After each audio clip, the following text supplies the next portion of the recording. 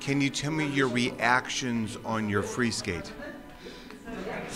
Uh, on my first skate, it was better than the short program, uh, and I'm trying hard on my my stops when I'm doing spins or footwork or jumps, but I have some mistakes.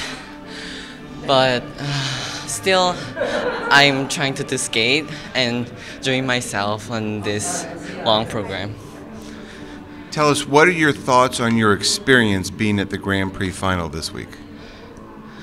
Uh, I want to try not to focus and like not to like that. I want to do a little smile and just join the competition. Thank you. Thank you very much. Thank you.